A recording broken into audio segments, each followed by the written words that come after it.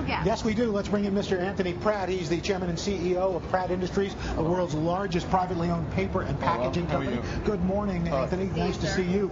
And you did you you did something uh, at the Clinton Global Initiative meeting yesterday. You had a huge announcement, uh, a billion, pledging one billion dollars Yes. uh, to to really help this planet. Tell us what you're going to be doing. Well, we hope to use the billion dollars to double our uh, recycling operations from 3,000 people to 6,000 American jobs in order to uh, combat climate change because we think that recycling is a very important but underestimated weapon against climate change. Why do you think it's so underestimated? Well, because um, did you know, Al, that um, there's uh, t- twice as much carbon emissions from landfills as there is from uh, global aviation worldwide?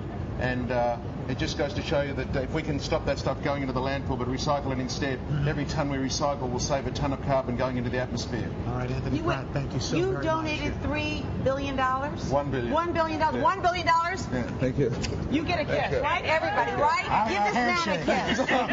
Give this man. I'm talking, talking a- about. During the weather, you can do something too. Thank now. you. Anyway, Thank uh, Let's take a look, show you what's going on, and uh, you'll see for today. We're basically looking at rain moving in the northeast.